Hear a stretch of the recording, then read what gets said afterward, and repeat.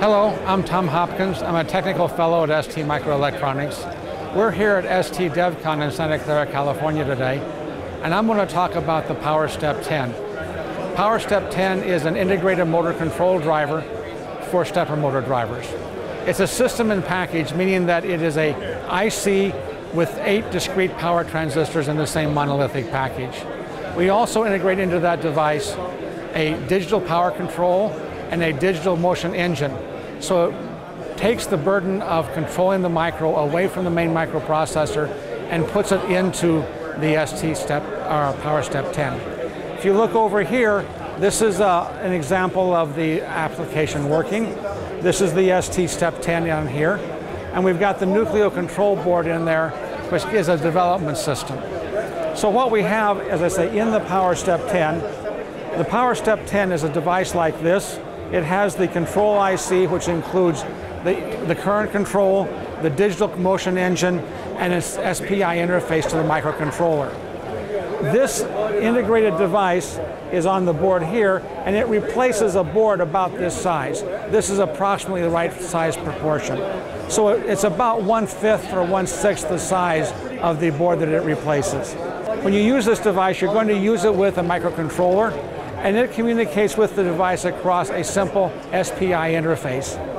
In this case, you can communicate with multiple axes either in parallel, or you can daisy chain the axes together so that you have one daisy chain of SPI to control multiple axes. So in this, for example, a 3D printer would have three, three axes to control, and you can see I've got three motor controls on here. One of the things that really makes this product interesting is we've integrated the digital motion engine into the device. So the microprocessor only has to give some very high level commands to the, to the uh, device. Instead of it having to count all of the steps and keep track of the speed for each step, it sends only a single command that says move from point A to point B at this speed.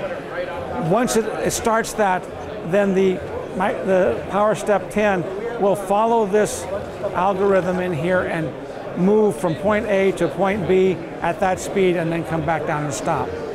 The great thing about having the daisy chain configuration is when you're, you can then uh, synchronize multiple axes because all the commands will start at the same time that you have at the end of the uh, SPI command. So here we have a very new integrated device and we also have then the support system that goes with it because we have the Nucleo board here and we have are the, the Nucleo board for the STM32. We have the X-Nucleo board for the PowerStep 10, and we have all of the software that goes together and integrates in the open development system to give you a very quick, uh, rapid market development. Thank you for joining me at ST DevCon. Thank you.